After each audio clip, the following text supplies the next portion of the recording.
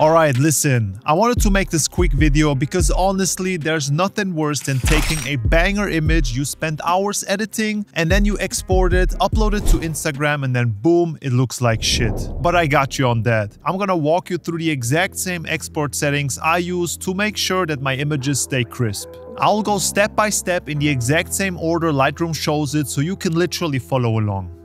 Number 1. Export location. I choose same folder as original and tick put in subfolder and then Instagram exports. It just keeps things organized because then I have a subfolder in my original raw file folder so I know exactly where my edited images are. Number 2. File naming. Sometimes I add a custom name like forest slide 1, but I keep it simple. Because let's say I've shot 4 or 5 images here in the forest and I want to make a slide post on Instagram, I know exactly which one will be the first slide. Number 3. Video. This is not relevant because we're exporting images, so on to the next one. Number 4. File settings. For the format, I use JPEG, color space sRGB. Instagram only reads sRGB, not Adobe RGB or Pro Photo. If you export in the wrong color space, then your colors will look washed out. For the quality, 85 is my sweet spot and not 100.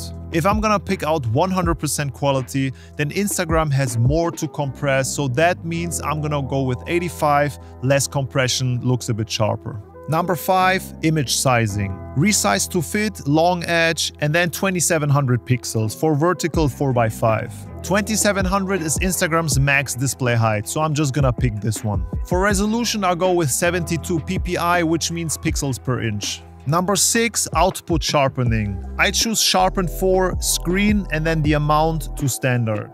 It's just because Instagram softens your image after the compression, so in order to have a bit more sharpness to it, I'm just gonna go screen and then normal. If your image looks really really sharp, then you can go with low or just don't use it at all. Number 7. Metadata or metadata. I really don't know how to pronounce this one. You can keep copyright only or strip everything. It doesn't affect the image quality at all, it's just a copyright issue, so you can use it or just leave it out. Number 8 is watermarking, and this one is as well totally optional. If I want to have my logo in the lower left corner, for example, I can just edit, play with the opacity, with the size, and then I have my watermark in there. Number 9. Post-processing. I set to show in Finder. I can just airdrop it with my Mac or if you have Windows you can just send it to your Google Drive and then upload it ASAP. And that's basically it. If you want you can save it as a preset, click on add, name it Instagram for example and you're ready to go. I know this was a quick one but I hope it helped. And with that being said, keep creating and stay disciplined.